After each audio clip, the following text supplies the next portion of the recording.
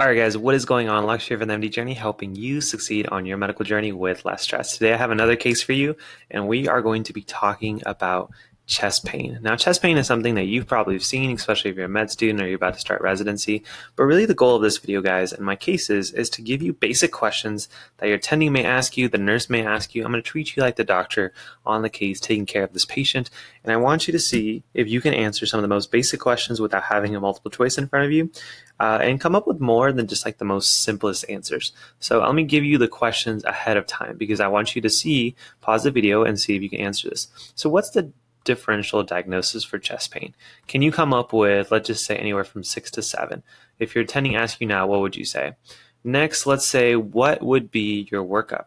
What would be anywhere from four to five things you would order for this patient that comes in with chest pain? I'm going to give you the case in a second.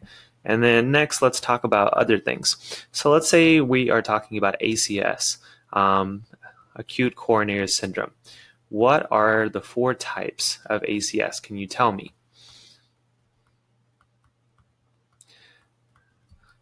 Next, let's talk about do you know what a TIMI score is? Can you pause the video and explain to me or teach to me what a TIMI score is?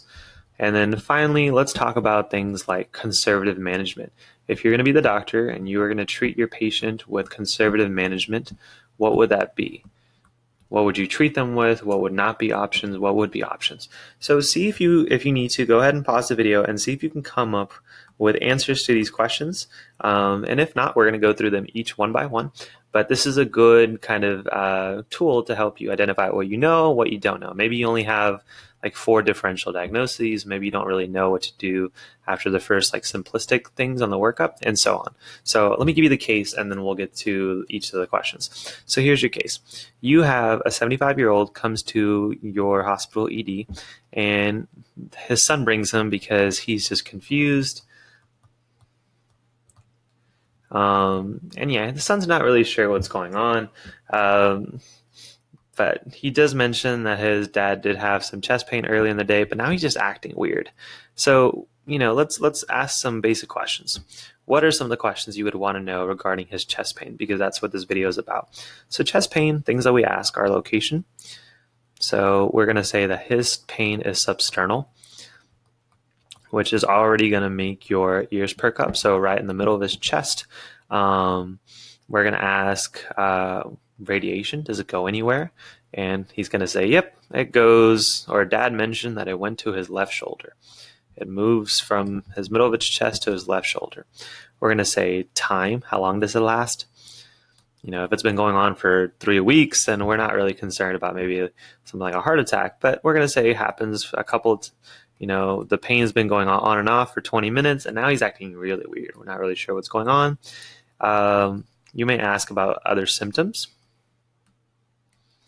And he says, Yeah, my dad was feeling nauseous earlier today, according to my mom, uh, but he looks even worse right now. Um, so let's just say those were some of our basic symptoms. I really want to get into these questions. So, you as a doctor, what are some of the things that you would want to kind of look at? Let's just say we get some basic vitals on him. Okay. That's going to be part of your workup. So, answer number two is going to be get some vitals for sure. He's in your ED. And oh boy, this is his blood pressure, guys. 90 to over 45, which is super low. He's hypotensive. Um, his heart rate is right at 100, so he's right at being tachycardic. He doesn't have a fever. And we're going to say his O2 sats, how he's breathing, he's doing okay for now, 97%. So those are his vitals, you know, and we look at him, we do a physical, so that's going to be another part of our workup. And things that we really notice is that he has lower extremity edema.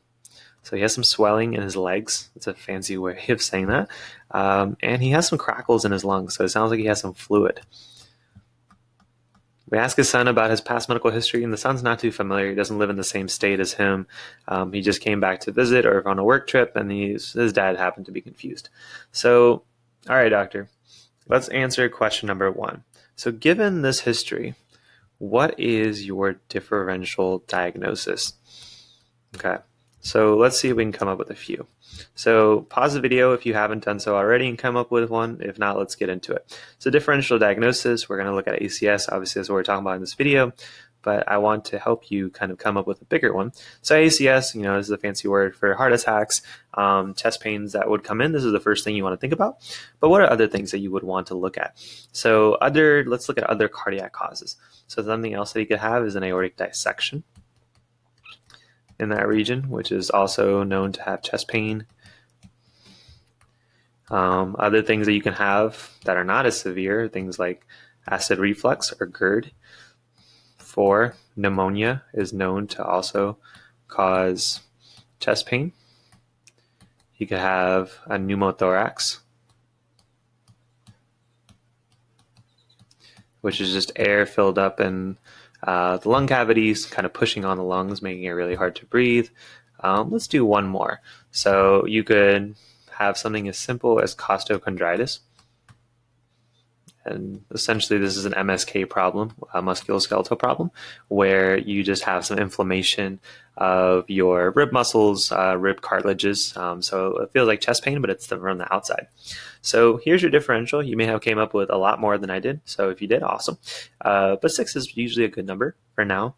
So now what we want to do is we obviously need to look at a workup, and we've done a little bit. So let's see what we can take out from our differential. So things like costochondritis, you know, this person has really bad radiating chest pain. Um, and we're going to say that when we push on the area of his chest, the patient doesn't really feel more in pain. So costochondritis is usually not on our list. He doesn't really have a fever, uh, which probably takes out pneumonia, but we could do an x-ray just to confirm. Um, certain things like a pneumothorax, you may be able to pick up on your physical exam, but you may also want to do an x-ray. So you may want to do an x-ray in this patient just in case you're worried about something else. And things like an aortic dissection, same thing. You can do like a CT scan. Um, and GERD, we're going to take GERD out. It's probably just not as severe. So these are the things we're considering, but obviously we're going to be talking about ACS today. So we have our differential diagnosis, and now we're going to talk about workup. So I'm going to erase this, um, and we're going to get into our next question, which is what kind of workup would we do for this patient, for a patient that we're just concerned about having ACS? So, an ACS workup. So, we've done a physical exam, we've done vitals. What's something else that you definitely want to order in this patient?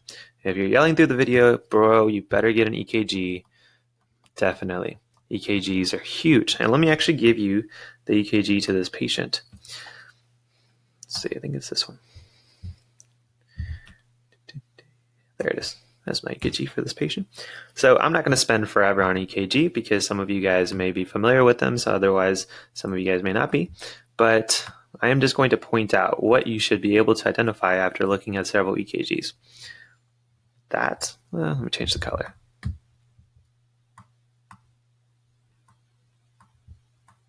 Maybe I can change the color. There we go. And let's make that a little bit smaller, it'll be easier to see. So this right here, that right there, and this right here. So that is not normal. This is what we call ST elevation. So fancy word, essentially, this is the spike that most of us know is the QRS complex. And after that, we have the S to the T wave. And if this is going up, then that's an ST elevation. So QRS, and here's your T wave, and there is an elevation in that part elevation here, elevation here. This just shows potential and likely damage to the heart, um, where, you know, this is probably what a normal one would look like, um, although it has a little bit there too, but these are severe. Now, the reason that I circled those specific ones, um, if you're unfamiliar with the EKGs, is that these locations, 2, 3, and AVF, are basically pointing to the inferior portions of the heart. So if you have elevations here, that also shows you that damage to the heart are located in that inferior region. So you can already tell by looking at EKG what part of the heart is damaged or is at risk of being damaged. So this person comes in with what we call inferior infarct. Um, so that's where we are right now. So I already gave you that patient's EKG. What are other things that you would want to order? We want to order troponins. So troponins are cardiac enzymes which are released if you have uh, muscle damage, which the heart is basically a big muscle. And so an elevation, so this patient I'm going to tell you is 2.5 and the normal is like less than 0.01. So he clearly has an elevated troponin. Now, other things that you would want to check on this patient are things like just a CMP. You would want to get things like magnesium, check their potassium because electrolytes can cause chest pain and arrhythmias, and they can also uh, impact your workup and how you take care of this patient. So you want to make sure of these things as well. So these are basic things. I mean, obviously you're going to get things like a, an X-ray. Uh, you may get an echo in these patients, but these are going to be some of your basic workups. Okay. So now let's talk about number three. What is going to be your essential differentials? What are the types of ACS? Okay. So ACS again is acute coronary syndrome. And basically it comes down to four different types. So hopefully you have already told me the different types, but you have stable angina. You have unstable angina. You have an NSTEMI. and then you have a STEMI. Okay. So what are the differences between these? You know, here's another question, pause the video if you need to. And I, instead of going to write it out, I found a good picture for you guys. I really wanted to show this. So here is a good difference, and I'll link this down below. But here are the main differentials between them. So between stable angina, I can actually draw on this so it's perfect. Between stable angina and angina right here, the difference is between demand and supply. Here, basically act like sub- stable angina is if you are working out and if your vessels just don't have enough flow to allow blood to go through. So you feel the chest pain because you know you need the extra blood, but your body, your vessels are not open enough to mm, give you that blood. So you feel it when you need it. So you may be exercising, you're like, oh, have chest pain. That's stable angina. Unstable angina is supply. So over time, you're having clots. So even if you're not exerting yourself, even if you're just sitting around, blood is having issues getting from one end to another because of plaque buildup, because of clot, um, a thrombus starting to form. So you start to have minor chest pain um, by even just by sitting around. So that's unstable angina. But nothing changes on their EKGs, okay? They're likely just going to be normal over time. And because we're not really damaging any of the heart muscles, this is the heart muscle, then your troponins or the cardiac enzymes are going to be normal. Now, if we keep working, working our way this way, you have an NSTEMI, which basically says that you are going to now have plaque buildup and clot form to where blood is definitely going to be uh, minimized um, more so than the unstable angina. And this is where you're really going to start showing signs on the EKG of damage. So you're going to have what we call ST depression, which is, again, here's your QRS, and the dip between that and your T wave is going to be kind of decreased right there. Or you'll have inverted T, T waves. So don't worry too much about the T waves. Again, they're just a, of a wave that's supposed to go normal. So here's a QRS that goes in this direction, and the T wave should go in the same direction as the QRS. If it flips, that's called inverted, another sign of ischemia or damage to the heart. Now, one more step. This is a big kahuna, the thing that we often consider a heart attack, where you have a full blockage and blood just can't go to the other end, and you have full damage. You're starting to really infarct uh, and permanent damage to your heart. At these points, because you have heart muscles that are actually at risk, um, anterior and working your way outwards, you're going to actually increase elevations of your troponins. So those are the different types of ACS. So stable angina, again, happens with uh, exertion, and this is demand. And then everything here on out is a supply issue. You have blockage, you're just not able to get it there. And then remember the last thing that we look at are things like our EKGs and our troponins. So EKGs here is normal, is normal. You're not going to notice a difference. In an NSTEMI, you're going to have ST depression and ST elevation in a STEMI. And then troponins also going to be negative here, negative here, likely is going to be increased, and definitely is going to be increased in an ST, uh, in, an, in a STEMI. So hopefully that helps. Um, hopefully you guys got that. Um, but this is basically an ACS, and I'll link that picture that I shared with you. Now let's get into number four. Okay, so based off of really quickly, based off of the EKG that I showed you for our patient, which is this one, what kind of ACS does our patient have? So if you are saying that he has a STEMI, which is an ST elevation, then you are right. So he is in this very last category. And the reason this really matters, guys, is how you treat these, basically how you treat this category versus this category is different. Okay. And so that's where we get into our TIMI score. So maybe you already know what a TIMI score is, but I'm gonna act like you don't. I'm not gonna get too far into details of what a TIMI score, like what all of the components are, because luckily we have calculators now uh, in medicine. We just have to type things in.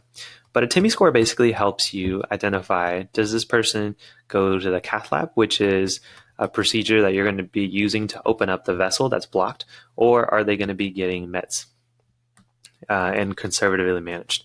And essentially, the way it is is a TIMI score involves a lot of things: their age, how does their EKG look, do they have troponins, and you put it in a calculator, and it's going to give you a number. Basically, if the number is greater than two, they go to the cath lab, and if it's less than or equal to two, then they get meds. Okay, so it's basically a severity case. These patients are a huge risk for dying, and so you want to make sure you do everything in your power within the first 12 hours. Um, that's the best time to save their heart. It was within the first 12 hours. You take them to the cath lab or send them to a hospital that has a cath lab. And then if not, you go and do meds. So let's talk about our meds. Okay, so now it's kind of going into our conservative management. What meds would you give these patients? So pause the video if you haven't answered it, but if you know this acronym, you know the meds, and I'm going to give you kind of um, something to consider because although acronyms are helpful, they're not always utilized in every single patient. So MONA BASH is basically what we use to help distinguish what we give these patients. So the M stands for morphine, which helps with the pain. The O stands for oxygen. So if your patient is less than 90% on O2, then you give them some oxygen. Our patient is at 97, so they may not necessarily need this. Um, N stands for nitroglycerin, which is something that will help dilate your blood vessels and essentially relieve some pain. So a lot of patients improve uh, with giving some nitroglycerin. And do you know how much you can give? So you can essentially give them um, nitroglycerin, like one dose, uh, up to three times in 15 minutes. Okay, so nitroglycerin actually acts really fast, and so you can give them up to three doses within 15 minutes, um, and as long as their chest pain is relieved. Don't give them obviously more than 15 minutes, and we'll come back to nitro in a second. Um, a stands for antiplatelets, so you don't want them to continue to form clots. Um, and thrombies uh, in their blood vessels, so you give them things like aspirin, and you give them things like Plavix. So these are two medications um, that you almost always use in patients. Obviously, you keep in mind there are other past medical histories, but you give this to your patient to avoid worsening their uh, heart attack.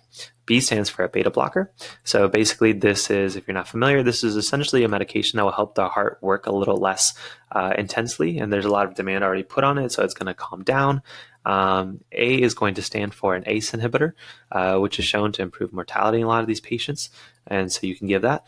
Um, S stands for a statin. So usually your cholesterol buildup is the reason you have the plaque. And so you give this to the patient um, essentially for long term. And then H finally is heparin. So heparin is going to avoid um, forming a bigger clot, um, and you can give this to the patient um, to essentially avoid making the heart attack even worse. So these are the things that you would give them. Okay, so let's get back to our patient though. MONA BASH is something that you guys learned, you probably remember, um, and if not, you are you know reintroduced to it. But what would you not give our patient? You know, remember this is their EKG.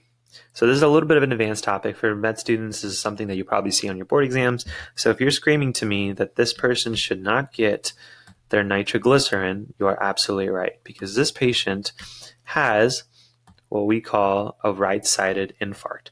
So when you have an inferior infarct like this, remember these are the leads that are pointing towards the bottom of the heart. This is likely going to be involved in the right ventricle. Now, the best way that I like to teach this is imagine you have a bucket, okay? And just like our heart, this bucket has four chambers. So I'm going to draw two buckets to give you the example of why we don't give nitroglycerin. And then we'll have some pipes going in and some pipes going out. So, what nitroglycerin does is in a normal case, you have some blood going in and it's going to flow and it's going to go into your right ventricle, left atrium, and eventually back into your left ventricle. Now, nitroglycerin increases essentially your diameter of your vessels. So you have the same amount of fluid come in, but not as much pressure. Okay, so instead of maybe this much of the chamber being filled in, you essentially have less come in each time. So the flow, the forward flow is not as strong. This is called your preload. This is like a fancy word for how much fluid um, fluid dynamics is coming forward. And the better your pre- preload, the less your heart has to work because the flow is going to essentially push itself forward and make your heart easier to squeeze it. Now, if your preload is decreased because your diameter of your vessel is larger, your heart is not going to be able to get enough blood to itself as well as the rest of the body. And remember, we're in a heart attack situation, the body's already struggling to get blood. So if you're, let me go ahead and erase this and try this again. If your body has a right sided infarct, so this is the right side. If this side is damaged for whatever reason, because that's where a heart attack is happening, then decreasing our preload and giving less blood is going to make it even harder for this blood to pump in this direction and then out of the body. So you don't want to give nitroglycerin because you want to keep this pressure of kind of forward flow as much as it possibly can. Nitroglycerin will lower this, and so you don't want to give this to the patient. So you can give something like morphine or something else um, for the chest pain for this patient, but definitely not give them nitroglycerin. Essentially, now let's quickly just kind of wrap up our case and talk about one more advanced topic is why is our patient confused? You know, remember I told you this was like a 75 year old man comes in confused and his blood pressure is super low. Remember his blood pressure was 90 over 45 plus he's confused. So the reason this happened oops, let's take that away. The reason this happened is I'm going to clear up some of this. Is his heart is what we call in a situation of cardiogenic shock, which is just a fancy way of saying his heart's not working right, and the pump, which is our heart, is not able to get blood to the rest of the body. So again, here is our four chambers, and we have damage right here, inferior part of our our heart and it's just struggling. You know, normally a situation will make it in green is it's going to move and it's going to nicely kind of flow out, but our heart is struggling. It's kind of wimping through. It's not really, it's just not doing the job just quite right. So, because our patient is not getting the same amount of blood compared to an ideal situation, his brain is getting less flow, and his heart is pumping less blood. So he's becoming hypotensive because he just doesn't have enough pressure in his vessels. Even after his body is trying to increase the pressure, it's not. And he's confused because his brain is just not getting enough flow. So for this patient, as I mentioned, you wouldn't give them nitroglycerin because you don't want to decrease even the forward flow even more so. And you want to avoid something like a beta blocker right now because his heart is already working slow. You don't want it to slow it down even more. So these are kind of advanced topics that you don't really always learn about in a patient with a heart attack. But now, given the scenario, you have a patient with a chest pain who clearly has really severe damage um, where the heart's not pumping forward and now has some uh, collateral uh, damage going on with his brain. And remember, he had crackles in his lungs. And uh, this is going to be the last point. Uh, because his blood's not flowing forward, because his heart's not squeezing, the pump's not squeezing, then that blood is starting to back up. So it's starting to back up in his lungs, it's starting to back up in his legs. And so this is just a picture of cardiogenic shock. So what would you do for this patient? One, you would stabilize him. Uh, he would obviously go to the cath lab because he has a really bad uh, STEMI um, and hopefully that helps. Um, you would give him some fluids as long as he can tolerate it to help this forward flow. Um, and then you can give him medications like dobutamine, which essentially help the heart squeeze a little bit better. So these are kind of advanced things you would do. Again, we've kind of strayed away from the heart attack and ACS, but again, it's not as cut and dry and simple as sometimes our medical cases on our board exams make it out to be. Your patients are going to have a lot of steps. So this is going to be a relatively simple case with a lot of like nuances going on. So hopefully you guys enjoyed it. Now, if you did enjoy it, first of all, make sure uh, you give this video a like and kind of let me know if you enjoyed it. So definitely comment down below um, with what you learned. Maybe I made some mistakes. I apologize for that to help me point that out so other people can learn from my mistakes. Uh, I'm not beyond making mistakes. I've probably made one or two at least. So comment down below and definitely subscribe to the channel um, helping me kind of grow this community. I love teaching you guys as long as you guys are ready to um, take my lessons. or if not, you can click off the video at any time. Uh, but yeah, join the community, subscribe to the video, tell me what you guys want in the future. Um, thank you guys so much for making it to the end. Hopefully, you guys found this helpful. Um, but I will talk to you guys soon. Take care.